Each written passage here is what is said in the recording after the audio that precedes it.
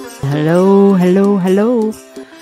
Welcome, welcome, welcome. This is G. It's the beginning of June, and quickly, I am going to show you so that you can see how to find this for yourself when a planet goes out of bounds.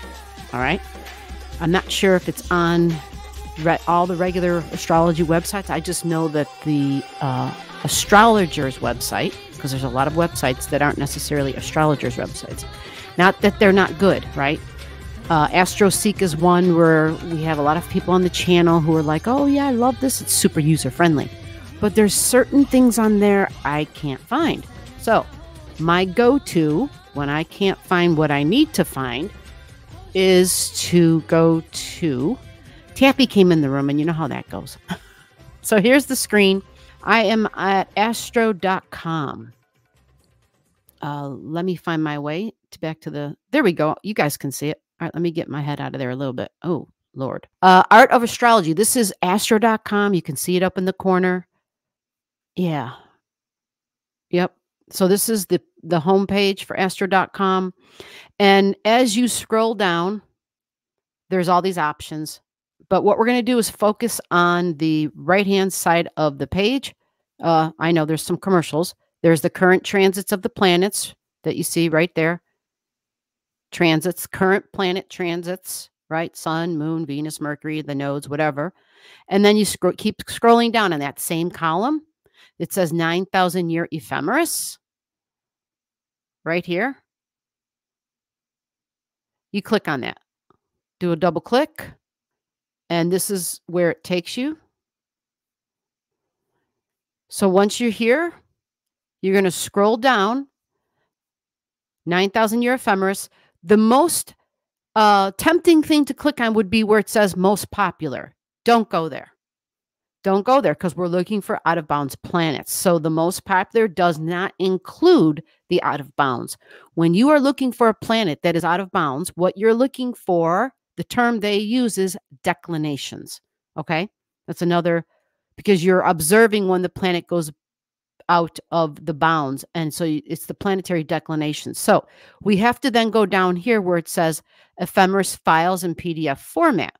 All right We're, we are in the 21st century so we're going to click on the 21st century and then we're going to go to the year that we're in but before we do that there's two offerings there's this one which is just it says 21st century and then it shows you all the years right under that it says in bold with declination and latitude and that's the ephemeris we need to be able to read where there is an out of bounds. So now we pick the year that we're in. We're in 2024. Click on that.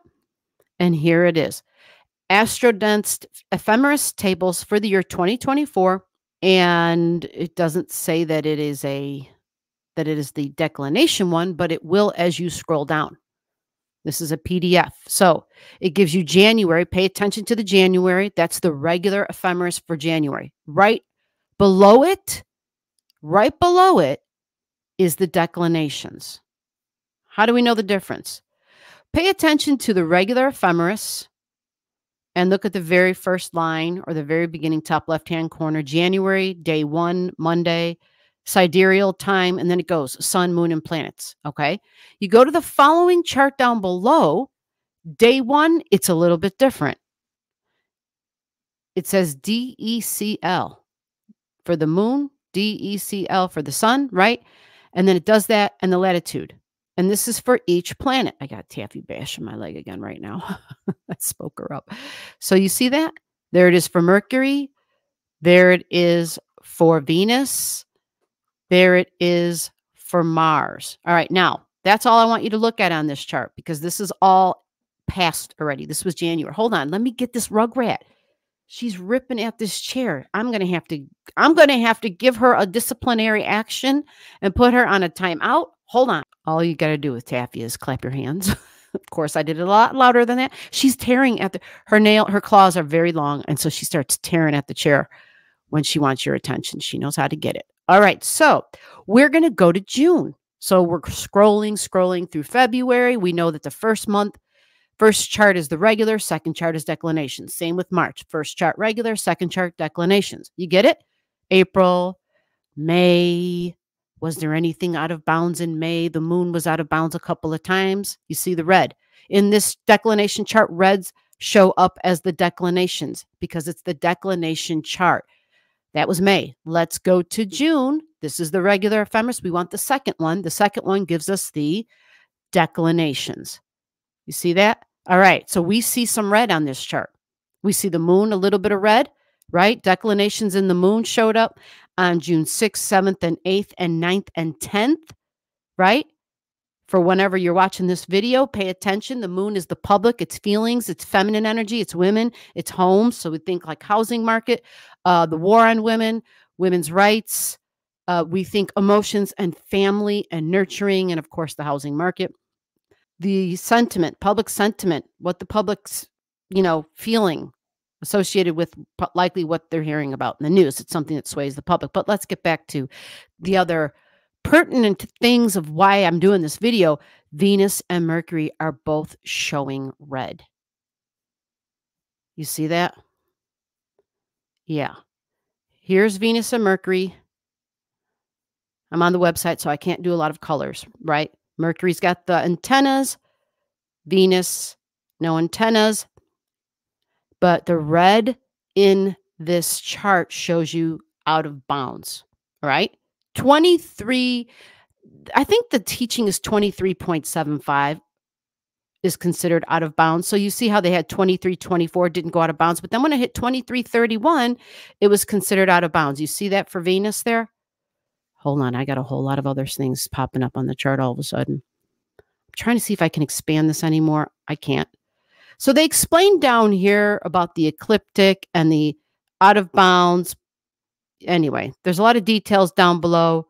We won't get into that. The short of this is that out of bounds, Venus and Mercury. The dates are Venus goes out of bounds according to this chart. This chart is written according to universal time. Okay. So, depending upon where you live on the planet and what time zone you're in, roughly, we're just going to go by what the chart says. And typically, this chart is roughly about six hours ahead of the time zone that I'm in. So, this says Wednesday for Venus, and then Thursday for Mercury. Right. So, interesting that we see Venus and Mercury showing up out of bounds Let's just keep these colors right. Yep, red. We see Venus and Mercury simultaneously out of bounds from June 12th to June 29th. See it? June 12th to June 29th. Because by the 30th, technically by the 30th, they're showing that they're no longer out of bounds. They're showing they're at 2354, 2324. You see? So they're calling it that they are no longer out of bounds at that point. Now, what does this out of bounds stuff mean? It means extreme energy. That's the observations I've made. When a planet goes out of bounds, it goes extreme. So Mercury is news, is information, is talking, is the markets, it's details, it's data, it's learning. Like there's a lot of keywords for the planet Mercury. Throw some in in the comments below.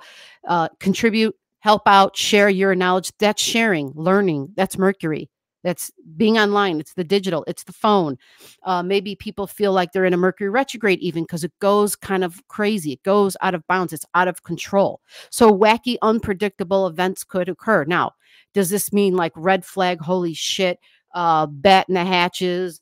Go under the, you know, go into the. No, it's not that. It's just saying to be aware of your mind. Be aware of communication. Be aware of the contradictory energy of Mercury. You know, when we call people hypocrites, where we're like, oh my God, they just said this the other day or the other minute. Now they're saying this extreme opposite of it, right?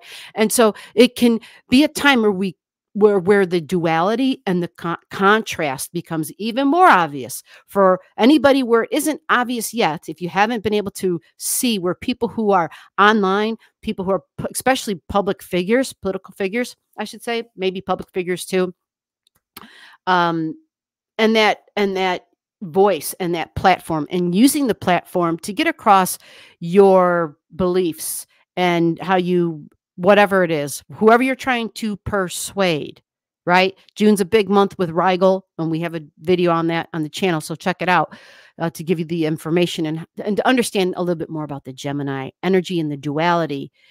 And then with Venus also being out of bounds, the red in Venus out of bounds, my values, my money, the markets, but it's also desires, right? It's also desires. So that again is from June 12th to the 29th. And then things start to come down. They start to come off of the edge a little bit once we hit the 30th. Because if I go and scroll further to the next month, July, we got to keep going to the second one because the second one is the declinations. We see the only thing in red is the moon, right? The only thing we're seeing in red is the moon. Okay. So Wednesday, Thursday, Friday, Saturday, you get it. So you know how to find it. I showed you how to get here, how to look it up, how to get this information for yourself. But Venus and Mercury are no longer out of bounds. All right. So hope this helped. If you uh, need any questions or if there's uh, anything else I can help you with, put it in the comments. Let me know below.